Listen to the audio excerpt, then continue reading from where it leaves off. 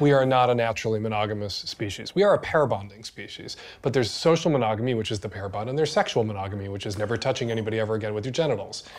And we are not We've never split that before. No, we need to split it. We all of these birds we used to look to and think, why can't we be monogamous like birds? Like the eagles and the. Yeah, certain geese and little birds that would mate, and they would mate for life, and would and we would measure our failure as humans to live up to the standards set by these damn birds. Well, along comes genetic testing, and we find out that these birds are screwing around on each other constantly. That they are socially monogamous, pair bonded, but they're not sexually monogamous. No primates with testicles our size are are monogamous, sexually monogamous. Uh, women, um, hidden menses.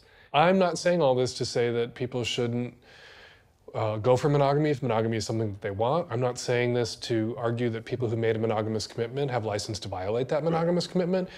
And of course, that's what headlines would do when they hear a phrase that comes Right. out of your mouth. Right. And they do that. Right. What I'm saying is, uh, we're not naturally monogamous. It is a difficult struggle for us. Chris Ryan, uh, sex writer, uh, in his book Sex at Dawn, Great. You just know all these sex writers. Well, I do. I read them all. He points out that you know all these cultures, you know, the, the sky religions, death penalty for adultery. While at the same time we run around arguing that monogamy comes naturally to us as a species.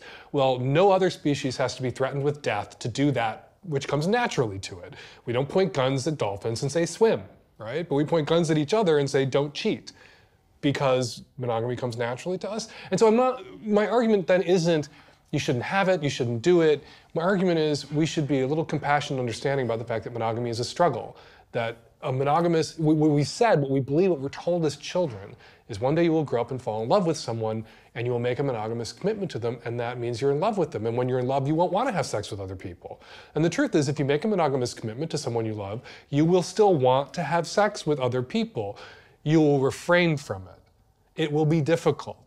And so perhaps we need to look at people who've been in 50 year marriages and only cheated on each other once or twice and say they were good at monogamy. Not bad at it, good at it. And give them some credit for having done this thing that was difficult and unnatural as a token of their love and affection and commitment. Almost completely successfully. It's like once somebody standing on one foot for 50 years. That's kind of amazing. If they touched the ground two or three times to get their balance, we wouldn't go, they sucked at standing on their foot for 50 years on one foot.